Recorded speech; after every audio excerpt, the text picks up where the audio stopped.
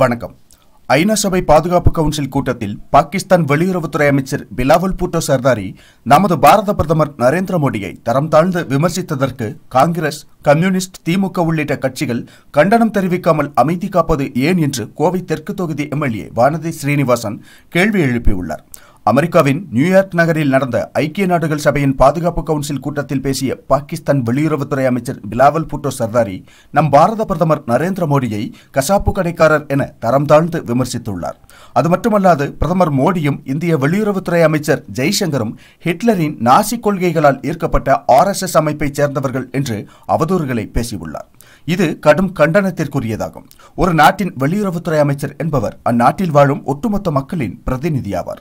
ஐநா போன்ற உலக அரங்குகளில் ஒரு நாட்டின் வெளியுறவுத்துறை அமைச்சர் உதிர்க்கும் ஒவ்வொரு வார்த்தையும் அந்நாட்டின் கருத்தாகவே ஏற்றுக்கொள்ளப்படும்.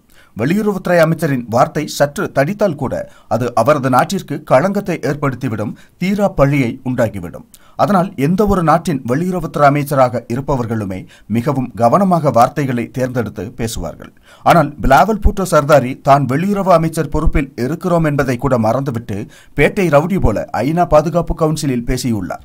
அவரது அநாகரிகமான அத்துமீறலுக்கு அங்கேயே நமது வெளியுறவுத்துறை அமைச்சர் ஜெய்சங்கர் பதிலடி கொடுத்துள்ளார். ஒரே நாடாக இருந்த இந்தியாவை ஆங்கிலேயர் இந்தியா பாகிஸ்தான் என பிரித்தார்கள். உலகெங்கும் பல்வேறு தருணங்களில் நிகழ்ந்த பயங்கரவாத சம்பவங்களுக்கான வேர்கள் பாகிஸ்தானில் இருப்பது கண்டறியப்பட்டுள்ளது. நியூயார்க் இரட்டை கோபுர குண்டுவெடிப்பிற்கு காரணமான பயங்கரவாதி ஒசாமா பின் லேடன் மும்பை தொடர் குண்டுவெடிப்பிற்கு காரணமான பயங்கரவாதி தாவூத் இப்ராஹிம் உள்ளிட்ட எண்ணற்ற பயங்கரவாதிகளுக்கு அடைக்கலம் கொடுத்த இப்போதும் கொடுத்து வரும் நாடு பாகிஸ்தான். பயங்கரவாதிகளுக்கு தங்கள் நாட்டில் பயிற்சி அளித்து இந்தியாவுக்குள் அனுப்பி அமைதியை சீர்குலைத்து வரும் நாடு பாகிஸ்தான்.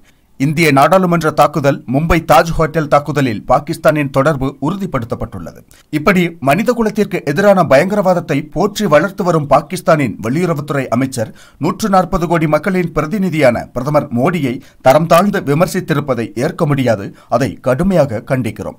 பிலாவல் பூட்டோ சர்தாரி தனிப்பட்ட மோடியை எதிர்க்கவில்லை. இந்தியாவை உலகின் வல்லரசாக உயர்த்தி கொண்டிருக்கும் பிரதமர் என்பதால் தான் விமர்சித்திருக்கிறார். அதாவது இந்தியாவை இந்தியாவின் நூற்று நாற்பது கோடி மக்களை அவமானப்படுத்த வேண்டும் என்ற நோக்கத்திலேயே தரம் தாழ்ந்து பேசியுள்ளார் அந்த மனிதர். எனவே பிலாவல் பூட்டோ சர்தாரிக்கு காங்கிரஸ் கம்யூனிஸ்ட் கட்சிகள் திமுக உள்ளிட்ட அரசியல் கட்சிகள் கண்டனம் தெரிவிக்க வேண்டும். மாறாக அமைதி காப்பது நாட்டின் மீது அவர்களுக்கு அக்கறை இல்லை என்பதையே காட்டுகிறது. எனவே இனியாவது பாகிஸ்தானுக்கு எதிர்க்கட்சிகள் கண்டனம் தெரிவிக்க வேண்டும். இல்லையெனில் தக்க நேரத்தில் இந்திய மக்கள் அந்த கட்சிகளுக்கு தக்க பதிலடி கொடுப்பார்கள். இரண்டாயிரத்து ஏழில் குஜராத் சட்டப்பேரவை தேர்தல் பிரச்சாரத்தின் போது அன்று அன்று அம்மாநில முதல்வராக இருந்த மோடியை மரண வியாபாரி என அப்போதைய காங்கிரஸ் தலைவர் சோனியா காந்தி விமர்சித்திருந்தார். அதற்கு குஜராத் மக்கள் ஒவ்வொரு சட்டப்பேரவை தேர்தலிலும் பதிலடி கொடுத்து வருகிறார்கள். அதனை காங்கிரஸ் உள்ளிட்ட எதிர்க்கட்சிகள் மறந்துவிட வேண்டாம் என்று தெரிவித்துள்ளார் வானதி ஸ்ரீனிவாசன் அது ஒரு வகையில் உண்மைதான். எத்தனை கருத்து வேறுபாடுகள் மாறுபட்ட கொள்கைகளை கொண்டிருந்தாலும் இந்த நாட்டில் உள்ள அனைத்து கட்சிகளுமே இந்த நாட்டின் நலனுக்கான கட்சிகள் தானே நாட்டின் நலனுக்கான கட்சிகளாகத்தானே இருக்க வேண்டும். அப்படி இருக்க இந்த நாட்டின் பிரதமரை வெளிநாட்டைச் சேர்ந்த ஒரு ஒருவன் இவ்வாறு பேசும்போது கண்டனங்களை தெரிவித்து நமது ஒற்றுமையை வெளிப்படுத்த வேண்டியது அவசியமான ஒன்றுதான். இதில் எந்த கட்சி வேறுபாடோ சார்போ இருக்க வேண்டிய அவசியமில்லை. பிலாவல் பூட்டோ சர்தாரிக்கு மத்திய வெளியுறவுத்துறை அமைச்சகம் கடும் கண்டனம் தெரிவித்துள்ளது. அதில் பாகிஸ்தான் வெளியுறவுத்துறை அமைச்சர் பிலாவல் பூட்டோவின் கருத்துக்கள் அநாகரிகத்தின் உச்சம். வங்கத்து மக்கள் இந்துக்கள் மீது பாகிஸ்தான் அரசு கடந்த ஆயிரத்தி தொள்ளாயிரத்து எழுபத்தி ஒன்றாம் ஆண்டு நடத்திய வன்முறையை பிலாவல் பூட்டோ அறிந்திருக்கவில்லை. சிறுபான்மையினருக்கு எதிரான நடவடிக்கையில் பாகிஸ்தான் இன்னும் மாறவில்லை. தீவிரவாதிகளுக்கு புகலிடமும் நிதியளித்தலில் பாகிஸ்தான் இன்னும் தீவிரமாக இருக்கிறது என்பது உலகிற்கு தெரியும் என்று தெரிவித்துள்ளார். இந்நிலையில் அனைத்து இந்திய சூஃபி ஷஜாதனாஸின் கவுன்சில் பிரதமர் மோடியை விமர்சித்த பிலாவல் பூட்டோவிற்கு கண்டனம் தெரிவித்துள்ளது.